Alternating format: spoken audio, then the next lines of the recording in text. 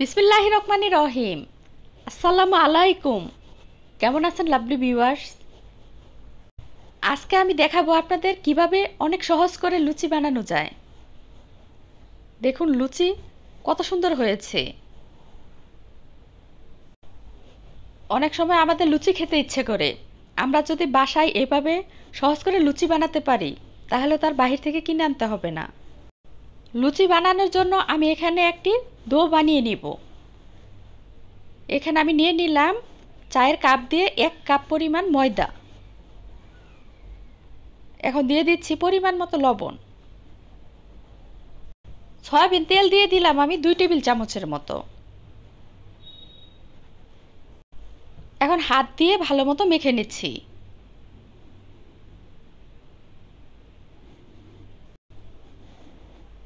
হাত দিয়ে ভালো মতো মেখে নিতে হবে।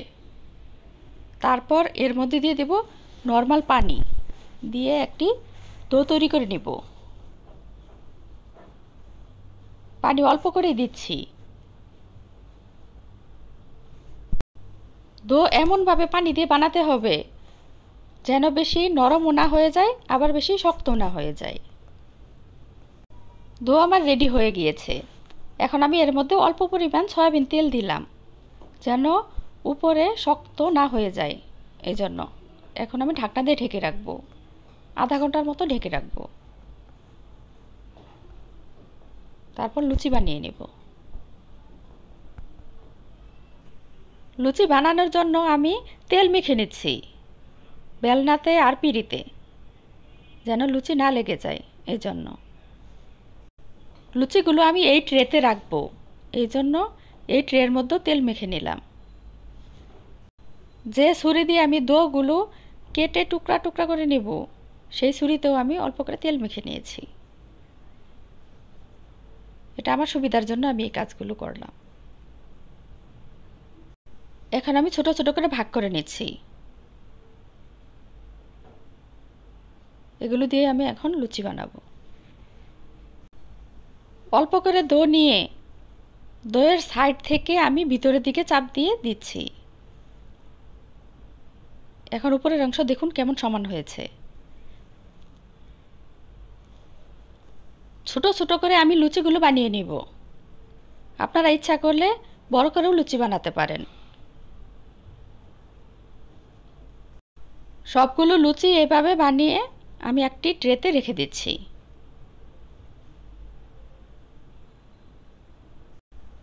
এখন আমি ভেজে নেব। ভাজার জন্য আমি প্যানে তেল দিয়েছি। তেল ভালো মতো গরম হওয়ার পর আমি লুচিগুলো ভেজে নিচ্ছি। ডুবো তেল হলেই বেশি সুবিধা হয় ভাজতে। লুচি বেশি সময় নিয়ে ভাজতে হয় না। কয়েক সেকেন্ড বাজলেই লুচি তৈরি হয়ে যায়। আমি এখনই নামিয়ে নিচ্ছি। লুচি আমার ভীষণ পছন্দের।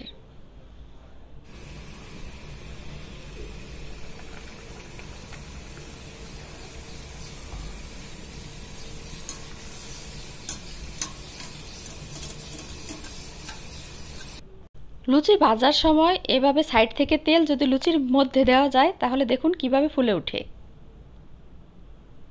গরম তেল দিলে লুচি তাড়াতাড়ি ফুলে ওঠে। এভাবে সবগুলো লুচি আমি ভেজে নিয়েছি। কত সহজে লুচি বানানো হয়ে গেল। আমরা ইচ্ছা করলে এভাবে বাসায় বানাতে পারি।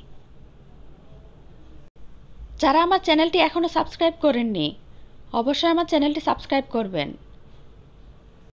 পাশে থাকা বেল বাটনটিও প্রেস করে দিবেন। এতে করে আমি ভিডিও ছাড়ার সাথে সাথে নোটিফিকেশন চলে যাবে আপনার কাছে। এখন আমি একটা লুচি ভেঙে দেখাচ্ছি। ভিতরটা কেমন হয়েছে দেখুন।